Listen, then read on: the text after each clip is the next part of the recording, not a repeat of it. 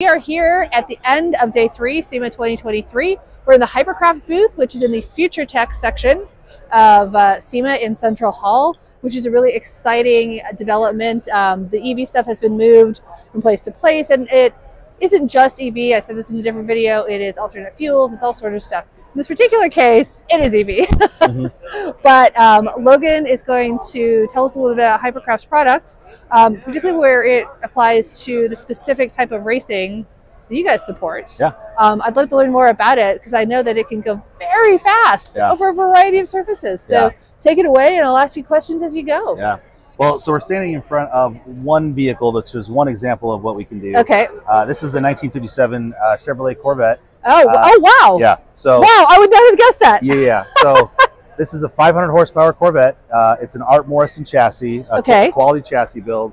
Uh, scared shiftless. Uh, did the did the build for the customer. Okay. Um, and this features our uh, our 500 horsepower prototype system inside of it. So okay. 80 kilowatt hours of battery, uh, split between the front and the back, full hypercraft system with wiring, display, um, every component you would need. And, and so this is a perfect example of what hypercraft does, and that is provide complete drive systems. Okay. Yeah, I was just um, going to ask you to elaborate. So uh, a complete to us means that when you connect everything together, it works. Okay. Because it's really easy to go by parts. right. But if they don't work together, Right. then you have a complete system that doesn't actually Right. run. Right. And so, what we specialize in is taking parts that really anyone can purchase um, and then putting them together in a way that they know they're going to be safe, they're going to be reliable, and they're going to give the performance that they expect out of the car. So, um, although this isn't specifically a race car, this is still a 500 horsepower Corvette. yeah, it's still great, Um, big. yes, and it's got you know AC and heat and every all the conveniences you want, including that very comfortable seat over there.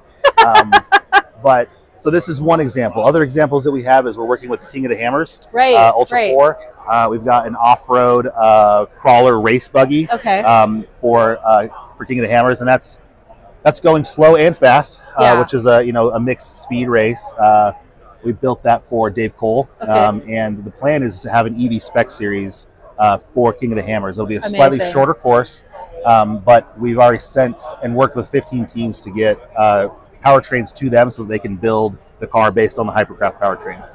Um, another example of what we do from the racing perspective is our Sierra Car partner. Uh, Sierra Car is a single seat buggy. Um, it was developed by a race car driver uh, to be uh, a fun, accessible, all purpose race vehicle. On road, off road, rally. I mean, you just adjust the shocks and you put on different tires, Okay. and it'll go literally anywhere you want it to. Catching air or you know doing donuts, whatever the, the, the issue is there.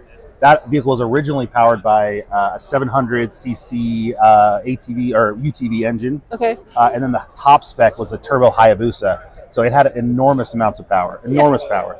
Uh, and he said, you know, I'm just sick of fixing them all the time. The maintenance, the maintenance is huge. And so the request was, hey, if you can make this electric and it still has great performance, I'm in.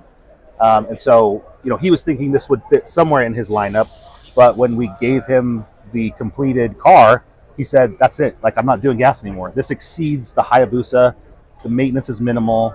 Uh, the range is, is more than enough what people want to use. I can track this, I can race it, I can do it off road.